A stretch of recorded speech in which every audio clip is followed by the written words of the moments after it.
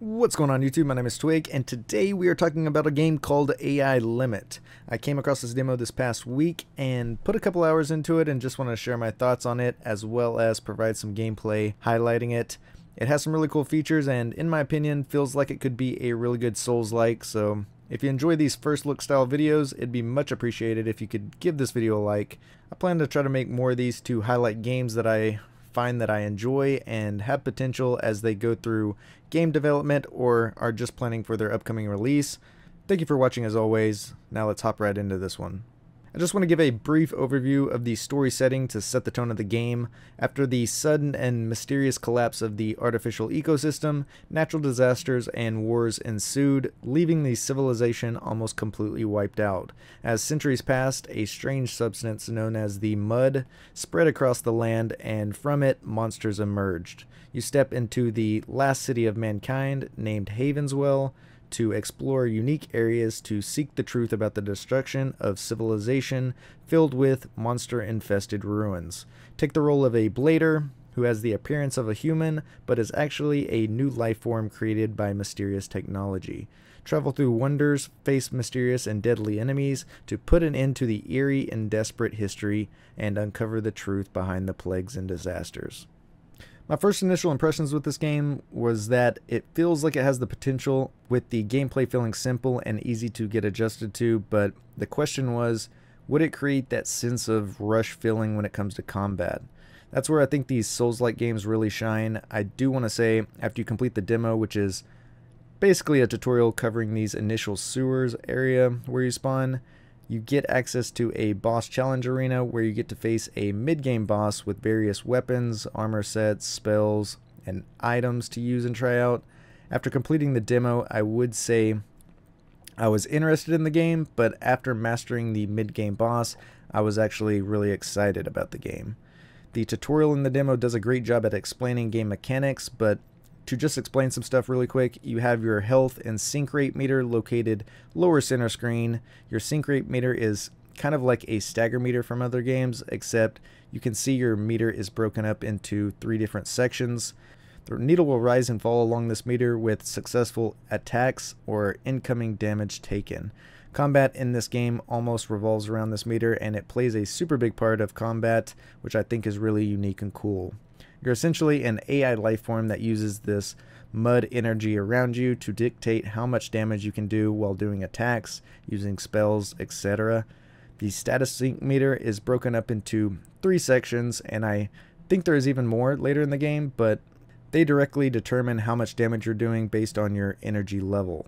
If it's in the highest section, you'll do increased damage. In the middle, it will do standard damage. In the low section, you'll do lower damage, and then if depleted, you will enter a weakened state. Using different attacks, spells, and such, you can also lower your percentage on this meter, and you'll see that boss enemies have these sync rate meters as well, and they're visually available. Located on the left side of your screen, you can see your upper D-pad item if you're using a controller, which is like your healing flask from Souls games, and then your lower D-pad item, which you can assign to a variety of different items to be cycled through using the left and right D-pad buttons.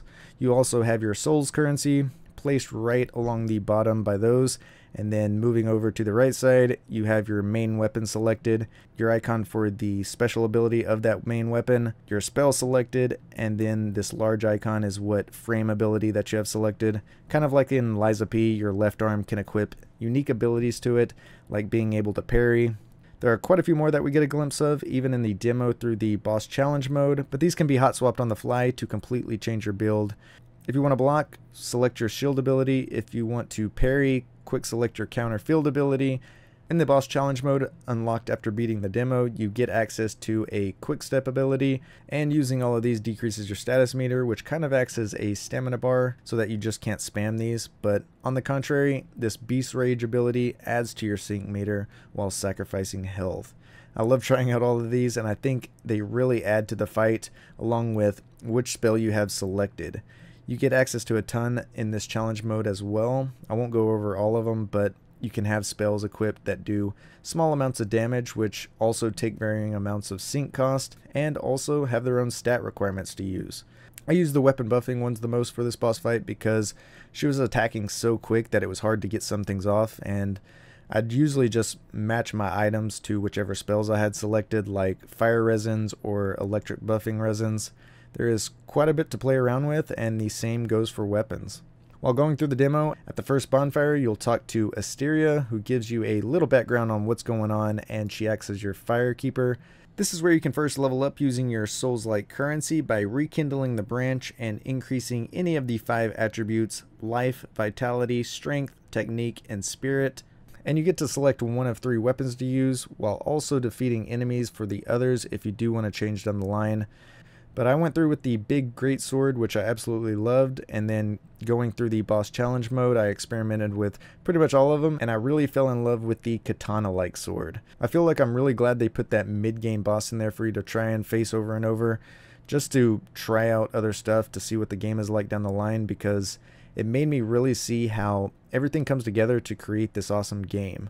The tutorial demo itself was fine, but a lot of the time the beginning isn't the most interesting part of the game because you don't have access to a lot of cool stuff. Enemies seem straightforward and easy. There are mini bosses that you can beat pretty easily as well. And then the main demo caps off with the first real boss who isn't hard once you learn his few attack combos and you can easily bait a parryable attack that you can riposte for a decent amount of damage. Dodging is kind of like Bloodborne, everything feels pretty good, and I do dig the vague story setting. The demo ran fine for me once I loaded each area. In spots I had FPS drops and minor stuttering, but just a very small amount. Others on the Steam discussion board have reported FPS drops as well, so that'll most likely be taken care of before launch. There is also a discussion thread on there talking about stolen animations for the one enemy with the large cannon spear, with some people defending the devs and some saying it's blatant copying from FromSoft's Dark Souls 3. I don't know. I don't know if I'd say it's a one for one copying, but definitely heavily inspired. It's just cool to see another anime Souls like. I bought Code Vein a while back, but never really had the time to play it. Seeing as I make these YouTube videos now, I do want to try out and talk about as many games that interest me as I can. I'm really looking forward to the full release for this one. The placeholder release date says 2024, but if you ask me, it'd probably be more in the range of early 2025 since we're in the last two months of the year now. Although there aren't very many big titles releasing, so it may be a good time to drop it if it's ready.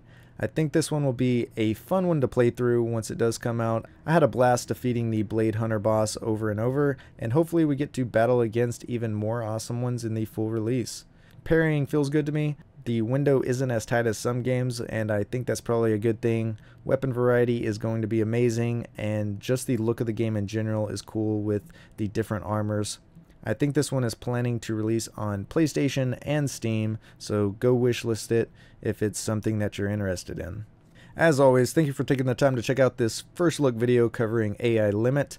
Feel free to add me on Steam if you do game on PC or join my creator group on there. Both will be linked down below. Pretty cool demo, always in favor of devs putting out a demo showcasing what their game is all about and getting feedback from players before launch, especially in terms of optimization.